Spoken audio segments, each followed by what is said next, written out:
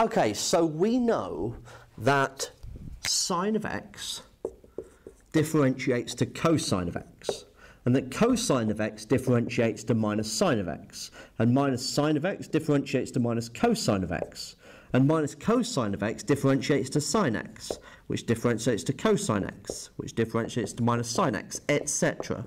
Minus cos x, sine x cos x minus sine x minus cos x, sine x cos x minus sine x minus cos x, etc. And so it works in both directions. So this way I am differentiating, and this way I am integrating. Okay, so cosine of x will integrate to sine x, for example. So that reduces the problem now to figuring out how I deal with that k that is the multiplier of x, the uh, coefficient of the x in there. Now, if I need to differentiate sine of kx, for example,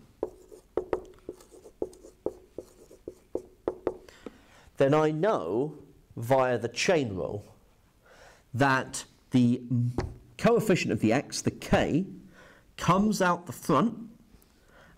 I differentiate the sine to cosine,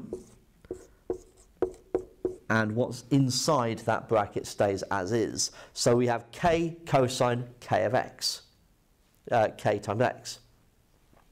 So how do I integrate? Well, to get from that to that, I'm going to need to bring that cosine back up to sine, and I'm going to need to divide by k to knock out that k there. So, very similar, in a very similar way to when we integrated e to the kx a couple of videos ago, this will be equal to 1 over k lots of sine of kx plus c.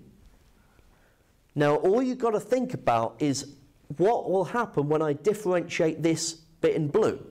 The c goes, the k comes out to the front, multiplies with 1 over k to make 1, and the sine becomes cosine, which reduces it back to what I've got there. So it works. So likewise, this will integrate to minus 1 over k cosine of kx plus c because when I differentiate this bit in blue, the c goes, the k comes out, multiplies with the 1 over k, becomes 1, and minus cosine differentiates to sine. Okay? So that is why we have these two results, which we should remember and memorize moving forward.